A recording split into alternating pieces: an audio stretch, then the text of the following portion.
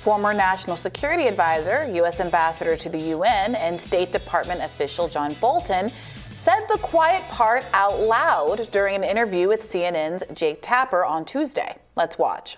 I don't know that I agree with you to be to be uh, fair. With all due respect, uh, one doesn't have to be brilliant to attempt a coup. Uh, I disagree with that. As somebody who has helped plan coup d'état, yeah. not here, but you know other places, uh, it takes a lot of work, and that's not what he did. It was just stumbling around from one idea to another. Ultimately, he did unleash the rioters at the Capitol. As to that, there's no doubt. Despite the backlash, Bolton doubled down on his comments yesterday, calling his detractors snowflakes. Well, I think there are a lot of snowflakes out there that don't understand what you need to do to protect the United States. Uh, I'm not going to get into specifics. I did write about Venezuela uh, in, in my memoir. Uh, and I think that any president that's not willing to do what it takes to protect the interest of the American people needs to have some uh, some counseling. Joining us now to weigh in is host of Pushback, airing on the Grayzone, Aaron Mate. Welcome back to Rising, Aaron. Good to be here. Thanks for having me. So, what did you make of these comments? Uh, maybe it feels uh, uh, gratifying to hear Bolton just admit to something he uh, he's it. long been accused of uh, by, uh, well, probably by all three of us for the left libertarian alliance on this issue. well, it's an amazing moment, and Bolton has been open in the past about his role in overthrowing foreign governments. As he said, he writes in his book about trying to stage a coup in Venezuela under Trump beginning in 2019. But here he is making it plain that this is U.S. government policy in many places, not just in Venezuela. And there's what makes it even more hilarious is that he's also dispelling another obsession of the corporate media, which is that what Trump did on January 6th was something approaching a coup. Because the reason why we're still talking about January 6th, 18 months later, even though Trump is gone and he's already been impeached for it, is because our media is addicted to Trump and needs to speak about him constantly. So here is John Bolton pointing out that actually this obsession you have on a riot was not a coup. And I know because I've done real coups.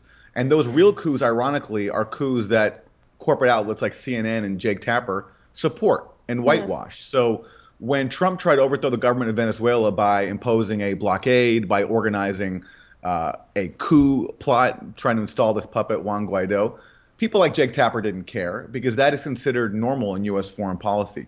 They want to make the issue about a riot at home while supporting coups abroad. And so, in one comment, John Bolton blew all that up. Yeah, it's interesting, frankly, that it has gotten this much traction, given that it seems like an, an open secret in some ways. You know, I do remember a fairly recent Jen Psaki press conference where she said very blithely, you know, we don't do coups, America doesn't overthrow governments, and it, and it elicited a similar kind of reaction of skepticism from the left. But this seems to be a mainstream pushback against the idea that he would kind of openly say, of course we do coups. And, and we shouldn't miss that he was provoked to say this because he somehow felt insulted at the idea that only morons can do right, coups. The sloppy work.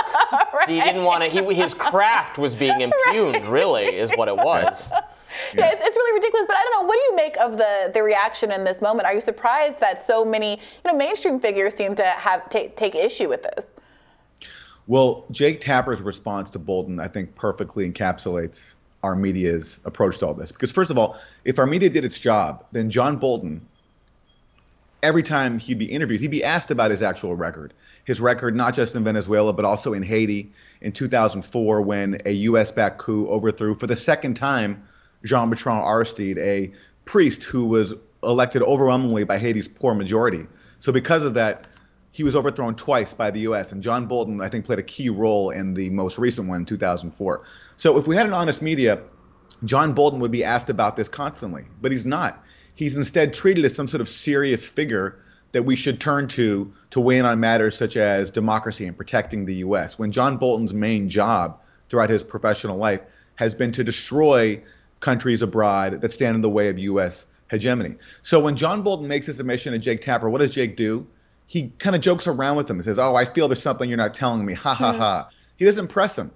You know, he pre- he he doesn't say, "Okay, well, where else have you tried to overthrow governments, and what did you do?" It was a very sort of jovial exchange because that right there is the role of the U.S. media to treat John Bolton as if they're serious diplomats and not professional sadists who mm. design policies that destroy other countries that stand in the way of U.S. global dominance. John Bolton was, I think, a reviled figure in the mainstream media for a long while, and then he he got the life hack, the upgrade he turned on Trump, um, maybe, maybe for you know for legitimate reasons. Trump is something of a buffoon, and then became a celebrity, uh, a celebrated media celebrity as this you know former Trump person who turns on Trump and now is you know welcome in mainstream circles and faces very little pushback for the policies he supported because he's willing to attack Trump, and that's all they want to hear we're talking about one of the most dangerous characters I think in modern U.S. political history. When he was Call working for under war George, with North Korea. yes, and when he was working under George W. Bush, he oversaw the dismantling of a really important arms control treaty called the Anti-Ballistic Missile Treaty. Uh, that allowed the U.S. to start building up these missile sites in Europe that they claim would protect Europe from Iranian missiles, which was a complete scam. The real aim was to put the U.S. in a better position to threaten Russia. And decisions like that help lead us onto the Cold War path that have led us to the war in Ukraine today. So John Bolton did that, and he comes back under Bush. He picks up where he left off. He dismantles another critical Cold War arms control treaty, the INF Treaty, and that treaty had eliminated an entire class of, of heavy offensive weapons and nuclear weapons. That allows both the U.S. and Russia to resume building those, and the U.S. even test them. John Bolton oversees coups in Venezuela and Haiti. He got in 2002, he forced the ouster of the head of the OPCW, Jose Bustani, because Jose Bustani at the time was standing in the way of the Bush administration's drive to invade Iraq. Bustani wanted to bring Iraq into the Chemical Weapons Convention, and what that would have done is subject Iraq to regular inspections, which could have seriously impeded the Bush administration's drive to war because those inspections would have showed that the Bush administration's claims about Iraq having WMDs and chemical weapons were false. So John Bolton goes to the OPCW, tells to Bustani, you have to resign, and we know where your kids live. Bustani's mm. spoken about this before publicly, including uh, with me in an interview.